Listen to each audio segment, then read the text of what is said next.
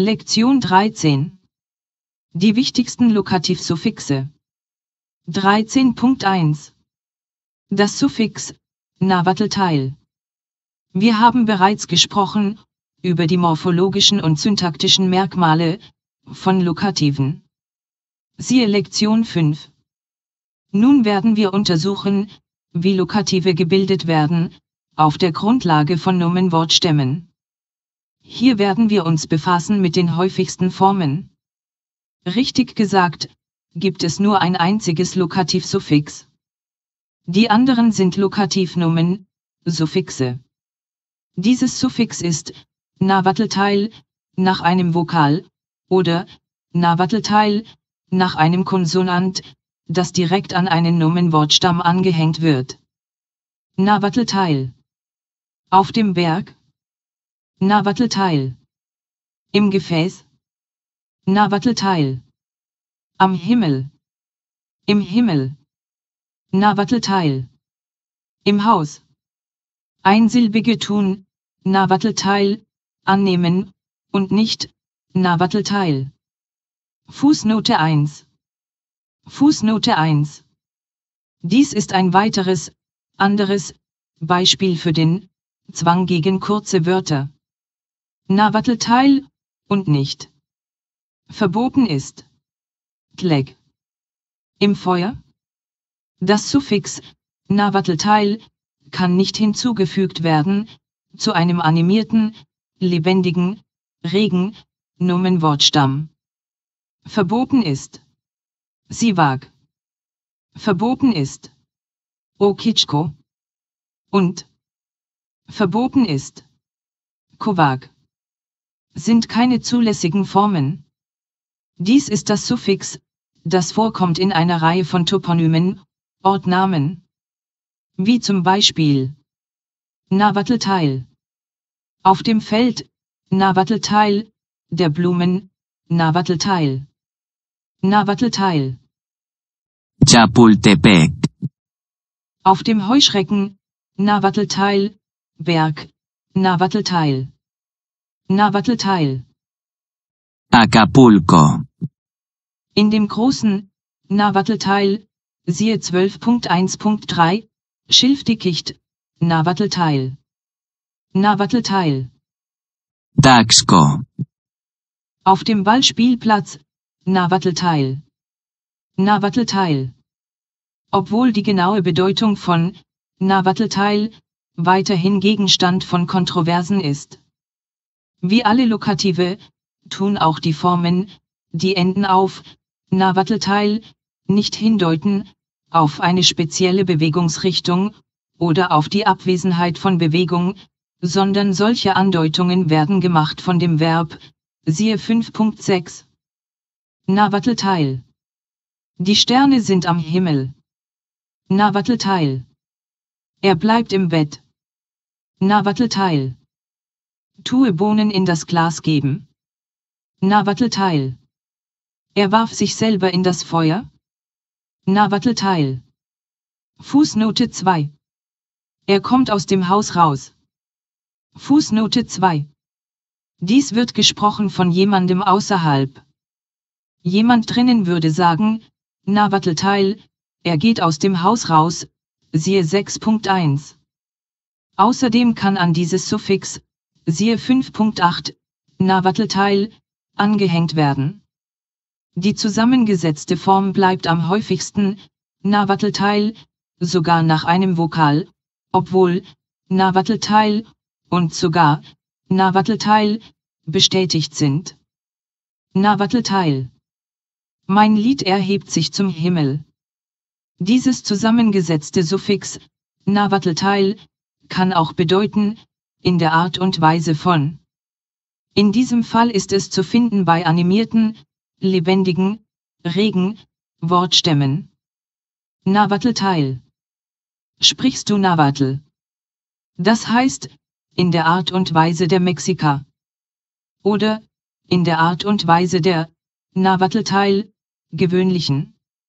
13.2 Platzierung von Lokativen. Lokative die enden auf, Navatl-Teil, erscheinen oft am Anfang eines Satzteil. Variationen in der Wortfolge erzeugen Effekte, die meist nicht übersetzbar sind, die aber für einen Nahuatl-Sprecher wahrnehmbar wären. Nahuatl-Teil Die Sterne sind am Himmel. Nahuatl-Teil Was die Sterne betrifft, sie sind am Himmel. Solche Lokative können kombiniert werden, mit Nahuatl-Teil, siehe 5.7. Nahuatl-Teil. Die Sterne sind, da oben, am Himmel. Nahuatl-Teil. Die Sterne sind, da oben, am Himmel. Nahuatl-Teil. Die Sterne sind, da oben, am Himmel. Nahuatl-Teil. Die Sterne sind, da oben, am Himmel. Und ein Lokativ kann fokussiert, fokalisiert, werden. Nahuatl-Teil. Am Himmel ist, wo die Sterne sind. Nahuatl-Teil. Es ist der Berg, auf den er geht. Die anderen Lokative, die wir später untersuchen werden, haben dieselben syntaktischen Eigenschaften. 13.3 Possessivlokative. Wenn das Nomen besessen, Besitzer anzeigend, ist, ersetzt das Lokativsuffix die morphologischen Abänderungen, für die Possessivform. Es gibt also kein Possessivsuffix, Nahuatl-Teil, oder das Weglassen des letzten, Endung, Vokal des Wortstammes, siehe 10.7. Nahuatl-Teil. Mein Hund ist in deinem Haus. Nahuatl-Teil. Du sollst nichts entnehmen von, innerhalb, der Truhe, dem Gefäß, oder dem Teller eines anderen. Nahuatl-Teil. Ich schmecke die Chilischote. Wörtlich, ich spüre die Chilischote in meinem Mund. Nahuatl-Teil. Das Kind ist im Schuss seiner Mutter. Dennoch sagt man. Nahuatl-Teil. Und nicht. Verboten ist. Immerhig. Er hat einen Stock in seiner Hand. Wörtlich, in seiner Hand ist ein Stock. Und mit dem Zusatz von, Nahuatl-Teil. Nahuatl-Teil. Das Kind tritt aus dem Schuss seiner Mutter hervor. Nahuatl-Teil. Ich bin vor den Otomi geflohen. Wörtlich, ich entkam aus ihren Händen. 13.4 Lokativnomen, Nahuatl-Teil. Die anderen Lokativsatzteile werden gebildet, mit Lokativnomen-Suffixen, die weitgehend, im wahrsten Sinne des Wortes, wenn nicht sogar in Gebrauch, den englischen Präpositionen entsprechen. Diese haben nicht die morphologischen Eigenschaften von Nahuatl-Teil. Stattdessen waren sie ursprünglich regelmäßige Nomen, die adverbiale Verwendungen entwickelt haben. Fußnote 3 Die meisten Lokativnomen existieren nicht mehr als eigenständige Wörter, obwohl einige dies tun. Was das Objekt der englischen Präposition wäre, erscheint als der Besitzer des Nahuatl-Lokativnomen, das die Possessivpräfixe annimmt, sowie ein regelmäßiges Nomen. Ein Lokativnomen hat häufig die gleiche syntaktische Beziehung zum Besitzer, wie es ein regelmäßiges Nomen zu seinem Besitzer hat, aber manchmal wird das Lokativnomen als ein Suffix an das Nomen angehängt. Fußnote 3. Beachte, wie viele englische Präpositionssätze ihren Ursprung in Nomen haben. Wie zum Beispiel in back of, hinter, on top of, über, alongside of, neben. Auf Englisch übertragen, würden die Nahuatl-Ausdrücke sowas bedeuten wie, ich gehe nach oben auf den Berg. Anstatt, ich gehe auf den Berg. Oder, ich stehe an der Seite neben dem Mann, anstatt, ich stehe neben dem Mann. Für eine konkrete Veranschaulichung der Lokativnomen, lass uns zunächst auf den häufigsten solcher Suffixe eingehen. Nahuatl Teil 1. Aus der Sicht der Bedeutung, bezeichnet das Possessivnomen, Nahuatl Teil, Kontakt ohne Eintritt. Eine Lokalisation, die so konzipiert ist, dass sie an ein Objekt angrenzt, und nicht in ihm liegt. Ursprünglich muss es ein Nomen gewesen sein, das sowas bezeichnete wie die Außenfläche, die äußere Oberfläche. In diesem Sinne ist es gleichbedeutend zum Englischen by, durch und wird meist ins Englische übersetzt mit on, auf oder in, in. Es bedeutet nicht innen drin, innerhalb. Es kann direkt zu einem Nomenwortstamm hinzugefügt werden, wodurch ein zusammengesetztes Nomen gebildet wird. Für die Diskussion regelmäßiger zusammengesetzter Nomen, siehe Lektion 17. Navatl-Teil. Fußnote 4. Feld. Navatl-Teil. Auf dem Feld. Fußnote 4. Navatl-Teil wird ins Spanische ausgeliehen, im Sinne von kultiviertes Feld, Acker. Vergleiche Navatl-Teil in dem Haus, innerhalb des Hauses, mit Navatl-Teil beim Haus, am Haus und nicht unbedingt darin. Navatl-Teil.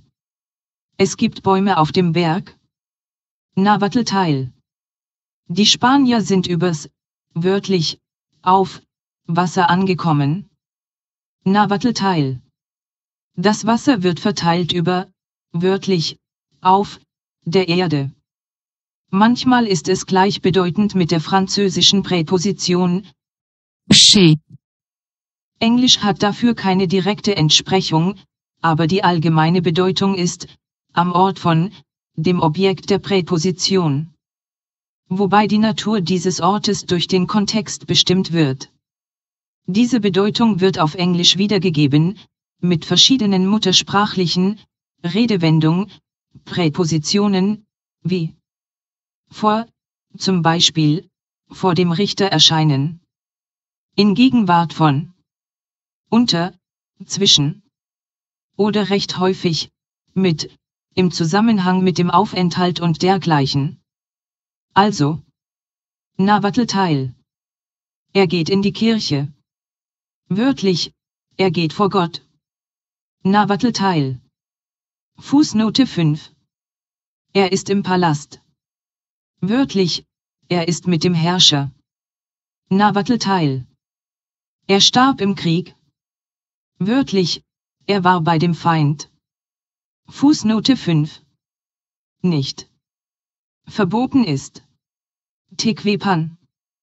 Es ist üblich, dass der labiovellare Konsonant que vor p vereinfacht wird zu k.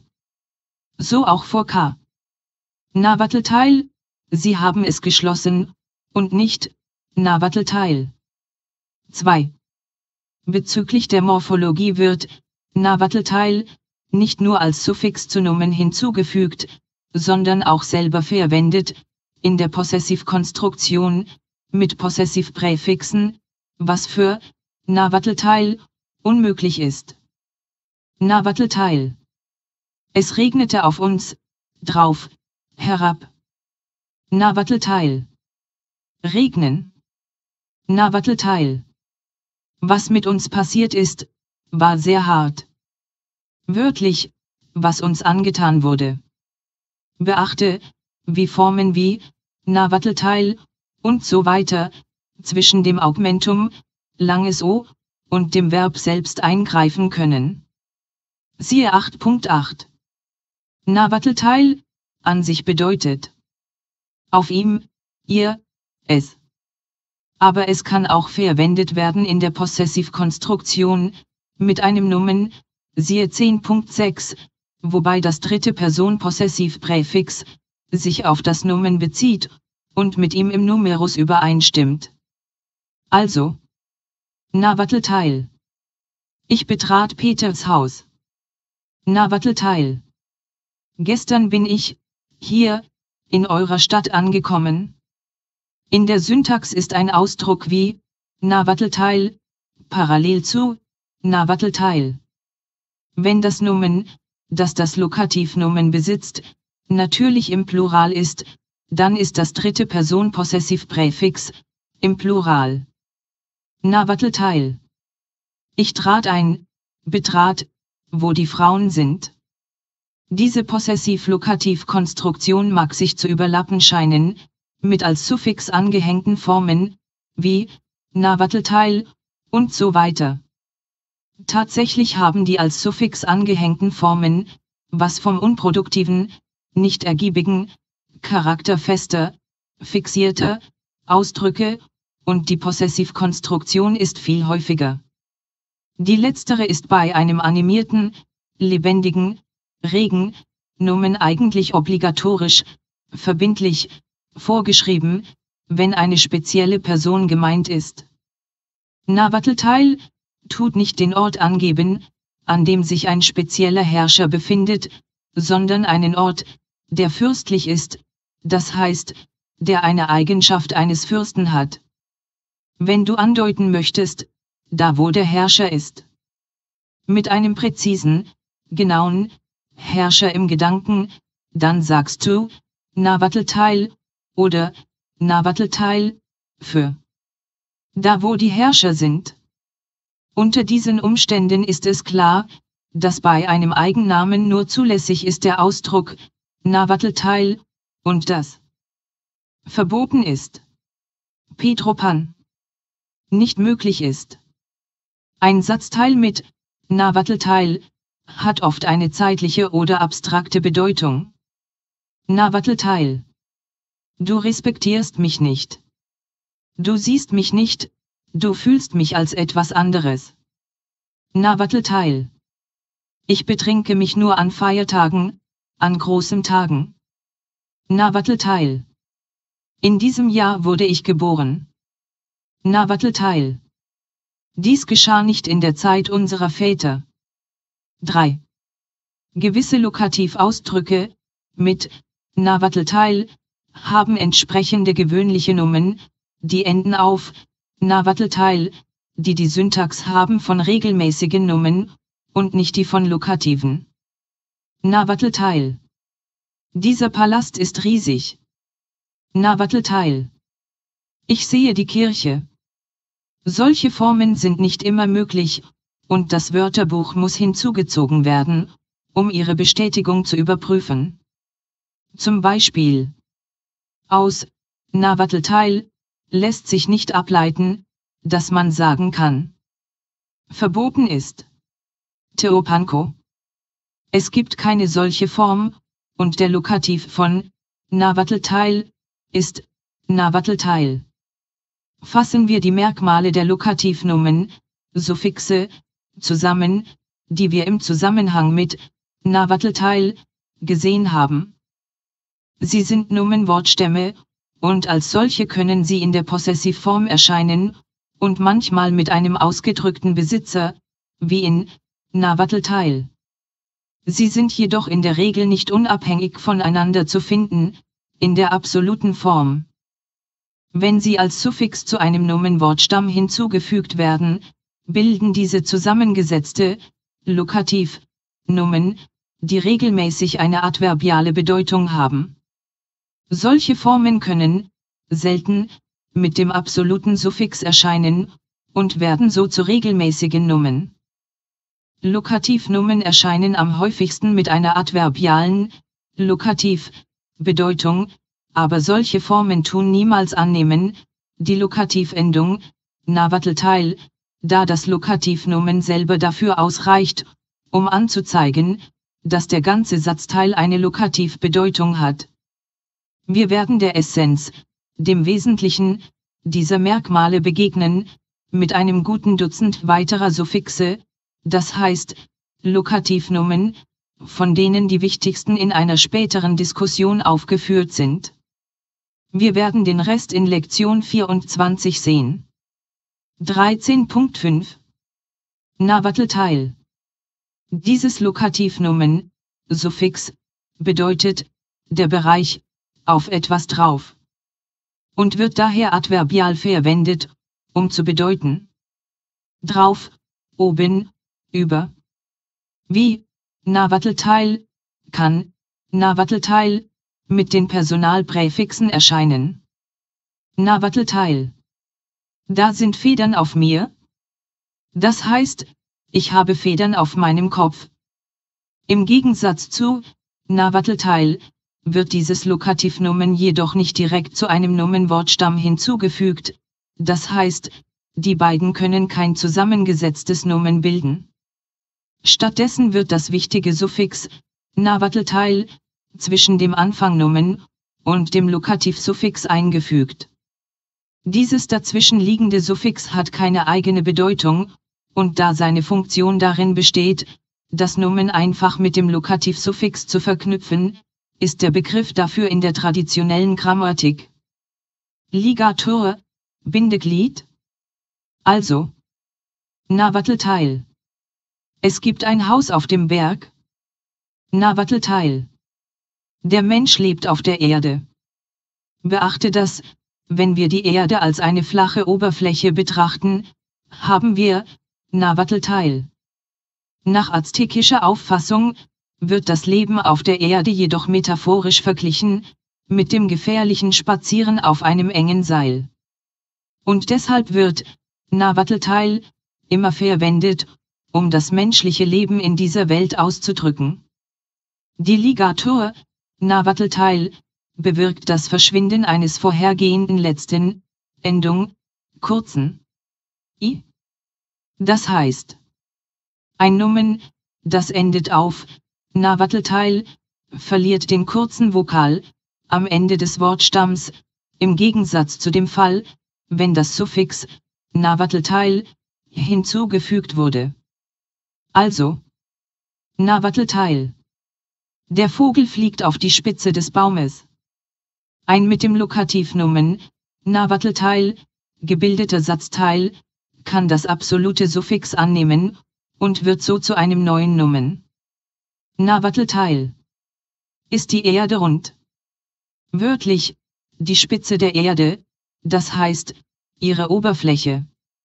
Es kann auch gewiss ein Ableitungssuffix annehmen, wie zum Beispiel solche, die Possessivnomen bilden, siehe 11.7. Navatl-Teil. Gott ist der Meister über den Himmel und die Erde. 13.6. Navatl-Teil. Die ursprüngliche Bedeutung von Navatl-Teil ist Fläche, unter. Aber in vielen Beispielen, besonders bei Nomen, die Menschen bezeichnen, bedeutet es neben, am, oft, aber nicht immer jemanden, der hierarchisch überlegen ist. Vergleiche den englischen Ausdruck At the foot of. am Fuße von. Es erscheint entweder mit den Possessivpräfixen oder mit einem Nomen. Mit einem Nomen sind zwei Konstruktionen möglich. Das Nomen kann direkt an das Suffix angehängt werden, mit Hilfe der Ligatur, Navatl-Teil. Vergleiche diese Verwendung mit Navatl-Teil in 13.5. Alternativ kann das Nomen auch getrennt von Navatl-Teil erscheinen, das dann das entsprechende Possessivpräfix einer dritten Person erhält. Vergleiche diese Verwendung mit Navatl-Teil in 13.4 Abschnitt 2. Navatl-Teil. Setze dich neben mich. Navatl-Teil. Ich saß neben Peter. Navatl-Teil. Es gibt ein Feld neben meinem Haus. Die Ligatur kann weggelassen werden, in gewissen festen, fixierten, Ausdrücken. Navatl-Teil. Er warf sich vor meine Füße. Beachte auch den Unterschied zwischen Navatl-Teil. Im Wasser. Unter der Oberfläche des Wassers. Navatl-Teil. Am Wasser. Entlang eines Flusses, eines Sees oder des Meeres. 13.7 Navatl-Teil. Dieses Lokativnomensuffix bedeutet gegen, an, insbesondere vertikalen Flächen, berührend. Die Ligatur wird normalerweise verwendet, kann aber weggelassen werden, insbesondere wenn der Satzteil als ein Nomen, mit dem absoluten Suffix verwendet wird, wobei das von Navatl-Teil regierte Nomen eher generisch als spezifisch ist. Also. Na Wattelteil. Da ist einiges an Schlamm auf den Felsen. Na Wattelteil. Ich klebe Papier auf das Haus. Na Wattelteil. Die Wand des Hauses ist weiß. Es wird häufig verwendet mit der abgeleiteten Bedeutung. Betreffend, mit Bezug auf. Na Wattelteil. Dies gehört dir? Wörtlich, dies zählt mit Bezug auf dich. Na Wattelteil. Ich bin stärker als du. Wörtlich, ich übertreffe dich in Bezug auf die Stärke. Beachte die Verwendung von Nawattelteil mit dem ganzen Satzteil, abhängig von Nawattelteil. Wenn Nawattelteil hinzugefügt wird, bedeutet diese Form über zum Thema Nawattelteil. Ich werde über den Himmel sprechen. Beachte die Trennung von Nawattelteil von Nawattelteil. 13.8 Nawattelteil. Dies ist das Wort für Wohnung, Haus, Zuhause, in der Bedeutung von dein Platz. Bezeichnet durch die Präposition chez, auf Französisch, eher als das Gebäude. Dein Platz kann sich weiter gefasst beziehen, auf die Stadt oder das Land, aus der du kommst, oder in der, wo, du lebst. Es hat die Eigenschaften von Lokativnomen, das heißt, es wird kaum verwendet, außer in der adverbialen Form, ohne Nawattelteil. Außerdem ist es fast immer in der Possessivform. Also, Nawattelteil. Betrete meinen Platz. Nawattelteil. Ich gehe zu Peters Haus. Die Lokativ, ortbezogene Bedeutung ist deutlich zu erkennen, wenn ihre Konstruktion mit der von Nawattelteil in Kontrast gestellt, verglichen wird. Nawattelteil und nicht verboten ist. Kan, Kaach, Mutschan. Vergleiche 5.5 Woher kommst du? Nawattelteil und nicht verboten ist. Kan, Mokal. Wo ist dein Haus? Ein Possessivnomen, das endet auf Nawattelteil, bezeichnet einen Einwohner. Nawattelteil. Wo sind die Bewohner, die Leute von hier? Diejenigen, die hier ihren Wohnsitz haben. 13.9 Ehrende Lokative Wenn ein Nomen mit dem Lokativsuffix Nawattelteil ehrend gemacht wird, wird das Lokativsuffix nach dem ehrenden Höflichkeit Suffix Nawattelteil platziert. Nawattelteil. Ich lege das in deine geehrten Hände. Nawattelteil. Hat er bereits dein Haus betreten? Dieses zusammengesetzte Suffix Nawattelteil ist auch dann gültig, wenn ein Satzteil das ein beliebiges Lokativnomen beinhaltet, erend gemacht wird.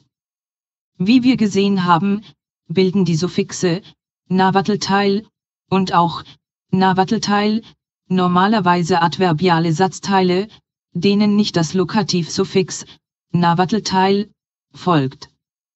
Aber wenn diesen Lokativnomen Nawattelteil hinzugefügt wurde, gilt die neue ehrende Form als ein regelmäßiges Nomen, dem Nawattelteil hinzugefügt werden muss. Also, Nawattelteil. Ich gehe zur verehrten Kirche. Nawattelteil. Ich trat in seine respektierte Gegenwart, Anwesenheit ein. Nawattelteil. Da sind Blumen auf seinem Kopf. Nawattelteil. Ich setze mich neben dich hin. Nawattelteil. Ich werde über Gott sprechen. Nawattelteil. Dies gehört dir. 13.10 Lokative und Adjektive. Wenn das Nomen in einem Lokativsatzteil durch ein Adjektiv abgeändert, ergänzt, wird, tut nur das Nomen die Lokativmarkierung annehmen. Nawattelteil. In dem schönen Haus. Nawattelteil. Auf dem großen Berg. Nawattelteil. Im schwarzen Schlamm. Beachte, dass das Lokativsuffix Nawattelteil nie nach dem Partizipialsuffix gefunden wird. Nawattelteil. Fußnote 6, Fußnote 7. Fußnote 6. Wie im Englischen sind unpersönliche Verben immer in der dritten Person Singular, mit es als das Subjekt. Siehe 15.10. Fußnote 7. Da der Mund eher als Ort gedacht ist, denn als Sache, tun Listen anatomischer Begriffe normalerweise angeben, Nawattelteil, wörtlich, in unserem Mund, für Mund anstatt, Nawattelteil. Übungen. A. Setze die folgenden Nummern in den Lokativ, der endet auf, Nawattelteil. Nawattelteil. B. Übersetze ins Englische. Nawattelteil. 1. Der Vogel fliegt in Richtung Himmel. 2. Ich verachte diesen Schurken. 3. Es gibt viele Vögel auf meinem Haus. 4. Die Kojoten versteckten sich in der Höhle. 5. Der Feind läuft auf Tlaschkala zu. 6. Sprecht ihr Navatl, in der Art und Weise der Mexika. 7. Geh nicht dorthin. Es wird auf dich regnen. 8. Wo ist Peters Zuhause? Es ist hier. 9. Werde ich in deinem, ehrenwerten, Haus schlafen? 10. Im Krieg würden nur die einfachen Leute sterben. 11. Mein Haus ist in der Nähe des Schilfdickicht. 12. Der Adler ruht auf der Kaktusfeigenpflanze. C. Übersetze ins Navatl. Navatl-Teil. 1. Ich regiere. Ich bin auf einer Matte, auf einem Sitz. 2. Da ist Fleisch auf meinem Teller. 3. Das kleine Kind hat eine Heuschrecke in seine Hand genommen. 4. Ist dir nichts Gutes passiert? 5. Heute ist Peter im ehrenwerten Palast. 6. Ich gehe ins Bett, ich betrete das Bett. 7. Es war in diesem Jahr, dass Peters Frau starb. 8. In der Zeit unserer respektierten Väter war die Stadt wunderschön. Heute in unserer Zeit ist es sehr schmutzig geworden. 9. Dein Platz ist schön. 10. Woher kommen diese Leute, wo sind diese Leute her? Wo ist ihr Platz? Sie sind nicht von hier? 11. Wirst du bei den Fürsten wohnen? 12. Welche Meinung hast du über mich? Worüber, worauf, siehst du mich? 13. Acht Menschen leben in Peters Haus. 14. Unsere Stadt liegt am Wasser. Was uns betrifft, wir leben am Berg.